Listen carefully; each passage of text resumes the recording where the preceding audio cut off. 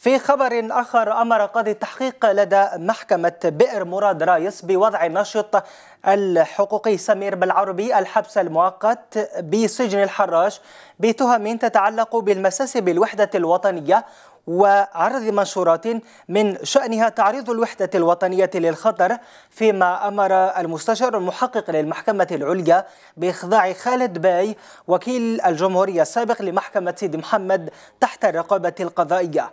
وكان رئيسها الدولة عبد القادر بن صالح قد قرر إنهاء مهام البي خالد شهر مايو المنصرم وعين بدله دعاس فيصل خلفا له.